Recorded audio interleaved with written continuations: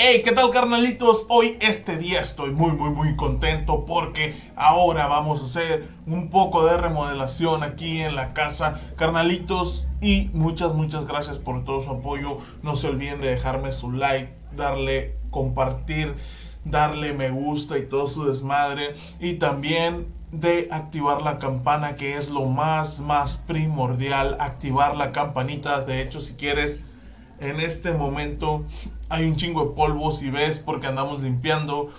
Este, mm, bájate a la campanita y vamos a ver qué rollo con este comediante llamado Santi Rodríguez. Se llama Estadísticas el monólogo y vamos a ver qué trae para nosotros.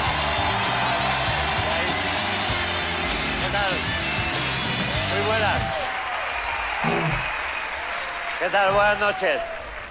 Vengo, vengo. Gracias. Ya.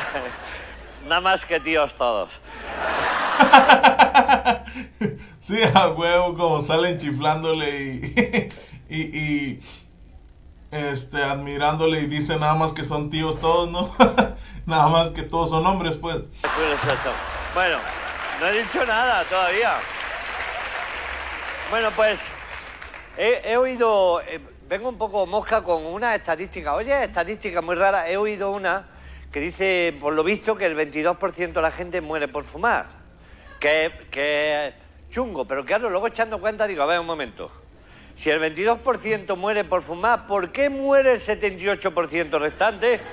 Porque no fuma. A ver, porque es que. A mí me dijo el médico. Santi, por favor, 10 cigarros al día. Digo, yo no fumo, pero me lo ha pedido, por favor, digo, le voy a echar huevo. Es que las estadísticas, las estadísticas no son tan exactas. Hay otra estadística que dice que la mayoría de los accidentes de tren tienen lugar en el último vagón. Coño, pues quita el último vagón, tío. ¿Sí o no? Es que ¿Cómo chingados? Es, es clase turista. Bueno, es clase turista, pero ahí dentro viajan casi personas dentro. es que esto de, la, esto de las estadísticas no es tan exacto. Son, es una de las materias que estudiamos en el colegio, de estas cosas que dice, a esto vengo yo aquí. Con el frío que hace a que me, a que me enseñen estas tonterías. Yo además, de chiquitito yo pensaba que iba al colegio por culpa de los Reyes Magos. Sí, yo, yo pedí un año un Ibertren y me- claro, yo cuando lo vi en el salón, ¡ay! Y dice mi padre, no, no, esto es muy delicado, esto, es- esto lo tengo que montar yo. Montó el Ibertren, empezó a probar las baterías, eran las 6 de la tarde. Papá, por Dios, un momento, que estamos probando. A las 12 de la noche no me había do- dejado tocar ni un rail todavía. Yo dando cabezazas, papá, por Dios, quiero jugar con el Libertín. quiero- Coño, que tuve que aprovechar que se fue al cuarto de baño para jugar. Bueno, para jugar no, para cargarme el Libertren. Llegó mi padre, bueno, bueno, ¿qué has hecho con el Libertren? Digo, he hecho lo mismo que haces tú cuando hay huelga de Renfe. ¿Tú qué haces? Yo, yo me cago en la Renfe. Digo, pues yo lo he hecho de verdad. Un mojón, como un niño de seis años. Qué mamón, güey.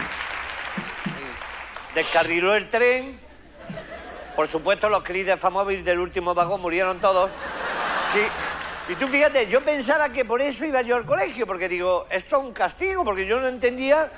Porque yo recuerdo que tenía una profesora, doña Ana, que luego le han puesto un parque y todo a la mujer. Sí. Era una, una señora, una señora que. Una señora que le cantaba el aliento. ¡puah! Yo le calculo un halitosis grado 7 en la escala Richter. No, no. No la oías venir, pero ni falta que hacía porque ya la oías. O sea, cuando ella salía de casa, se- si el aire soplaba para el colegio, ya no íbamos sentando. Sí.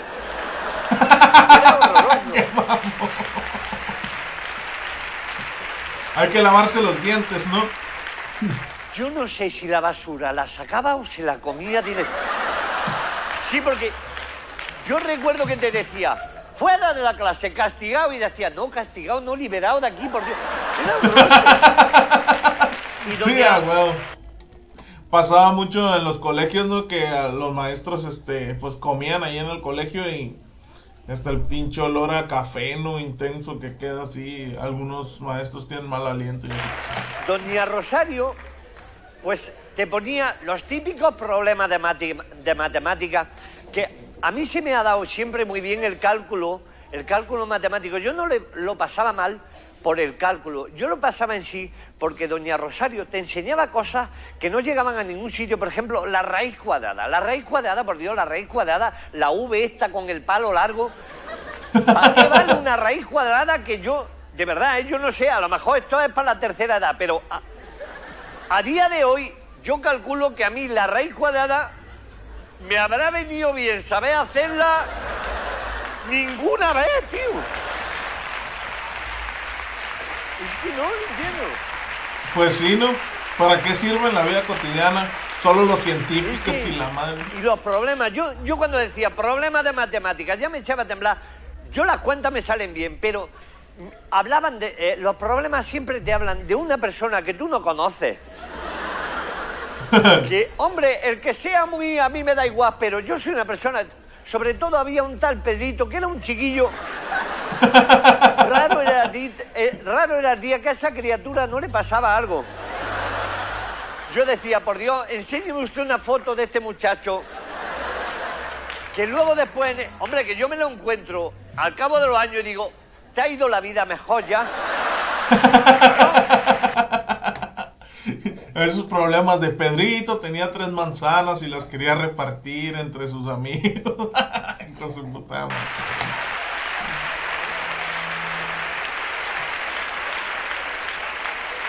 Todos los días, todos los días le pasaba algo.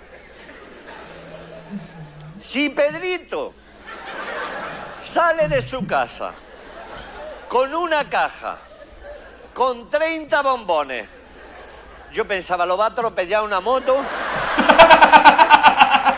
lo va a atropellar una moto, le va a dar un palo, un albano kosovar se va a llevar la caja.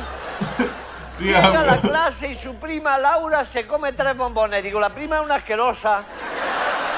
Porque a la prima no le ha pasado nada en el año que llevo yo aquí. Al primo le... Un compañero le quita cuatro bombones.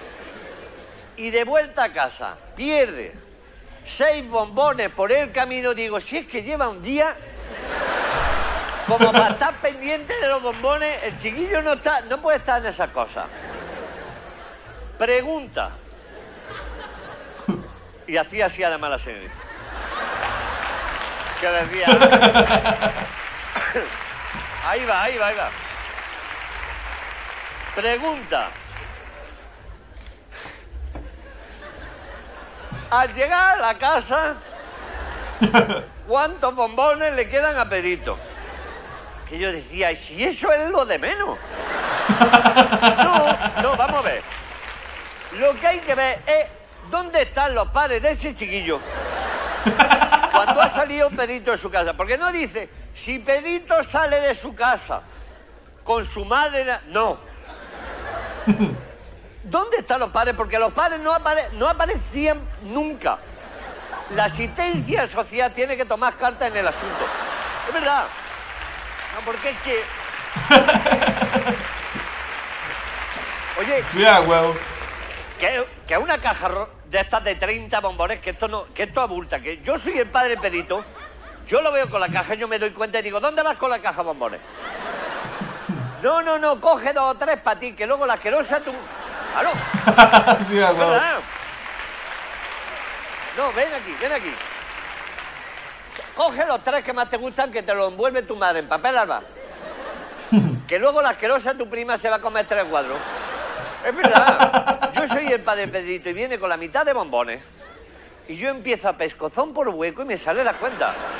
Pues yo con los problemas lo pasaba fatal. O, o los típicos problemas de cálculo, de decir, si un tren sale de Toledo, dirección Madrid, a las 7.45, a 120 kilómetros por hora, y un tren sale de Madrid, dirección Toledo, a las siete y media, a 110 kilómetros por hora, ¿en qué punto se encontrarán? Digo, si lo que hay que hacer es desalojar el último vagón.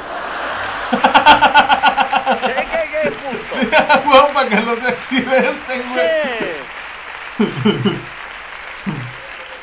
Que eran, dice, pero eh, es que además, no- eh, y, y mire usted que lo mismo no me extrañaría que fuera en, en uno de los trenes Pedrito comiendo bombones.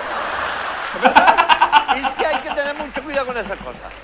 Y luego yo me, me acuerdo que me tiraba estudiando el día, el día entero para el examen del día siguiente.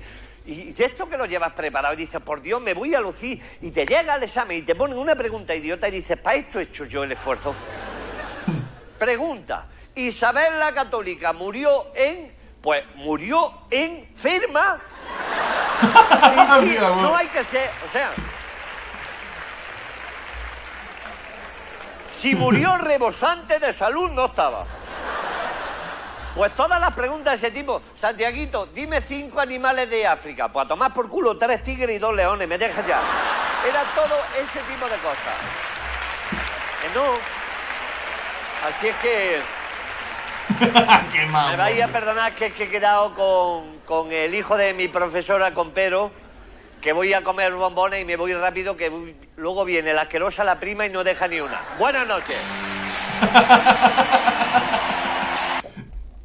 Nada más tiene que tener cuidado de no irse en el último vagón, ¿no? Carnalitos, bueno, pues hasta aquí va a llegar el video. Antes que nada, no te olvides de suscribirte. Aquí va a estar apareciendo esta chingadera. Digo, aquí va a estar apareciendo esta chingadera de suscribirse. Y por favor, activa la campanita. Nos vemos en un próximo video. Y a ver qué les parece este compito.